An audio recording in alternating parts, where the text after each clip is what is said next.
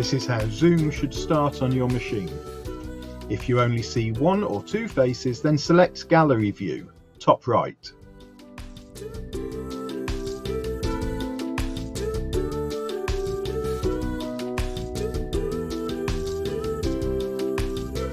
At the bottom of your screen, you'll see at least some of these icons. Don't worry if some are missing, it just means you are not the person in charge of the call.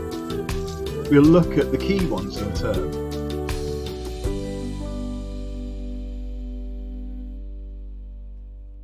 The mute button allows you to turn your microphone on or off. This is helpful to do when you are not speaking, as too much noise from others in the call can be distracting.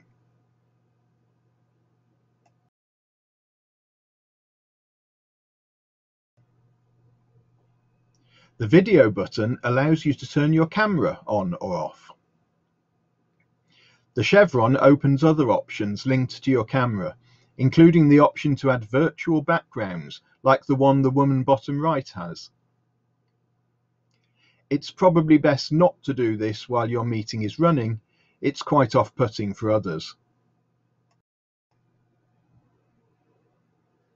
The chat button opens an extra section to the right of your screen.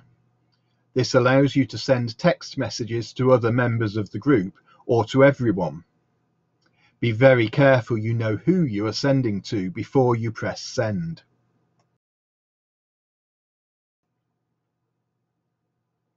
The Participants button, like Chat, opens a section to the right of your screen.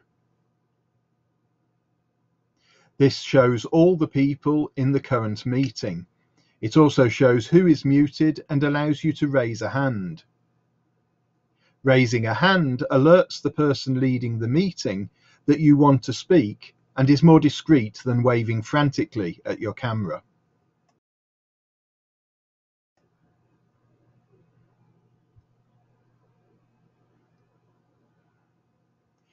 The other button you have is the Reactions button.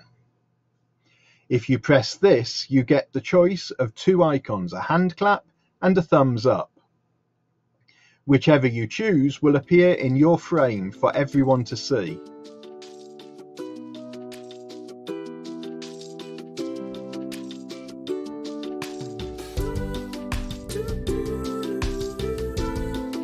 You can learn more about how to use Zoom in the resources section of their website. Just go to zoom.us.